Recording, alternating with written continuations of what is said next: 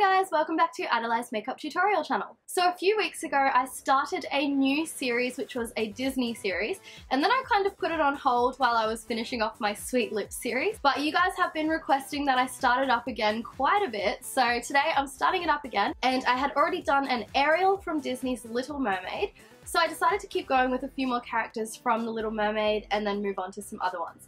So today I'm going to show you how to do this look inspired by Flounder from The Little Mermaid. Let's get started.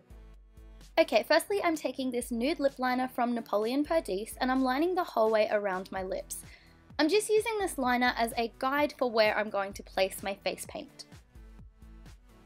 Next, I'm taking this yellow face paint from Snazaroo and I'm lining over the top of that nude lip liner and then I'm filling in the entire lips as well.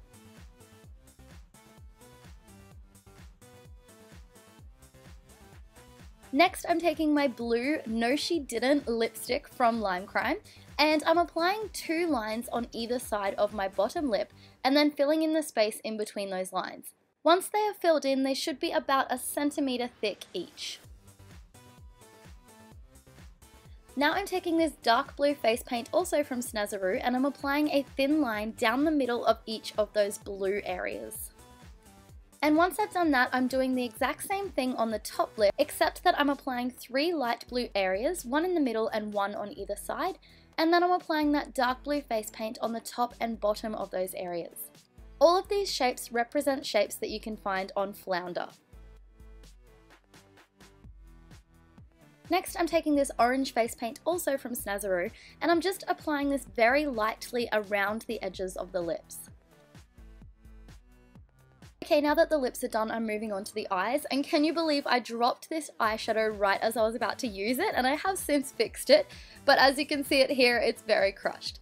So this is my dark blue eyeshadow from Sugarpill Cosmetics, which I'm applying to the outer corner of my eye, extending down to underneath my lower waterline. I'm also applying a line of this across my top eyelid, just above my crease line. So as you can see, I've ended up with a nice V shape. Once I've done that, I'm taking a blending brush and blending out that colour. Now I'm taking my black liquid eyeliner from Arbonne and I'm lining a thin line across my top lash line, ending in a nice big flick, and I'm leaving a slight gap in the end of the flick, which you can see here. I'm also taking that liquid liner down underneath my lower waterline to about halfway along my eye and then flicking it downwards slightly. Now I'm taking this fluoro blue and fluoro green face paint from Derivan and I'm applying them in a thin line inside that little gap that I left at the end of the eyeliner. The blue clearly represents some of the colour on Flounder's body and the green represents Flounder's green eyes. I'm now taking this yellow eyeshadow from Sugarpill Cosmetics and I'm applying this to the remaining area of my eyelid that is still showing. Then I'm taking my black Peep Show mascara from Napoleon Perdis and applying this to my top and bottom lashes.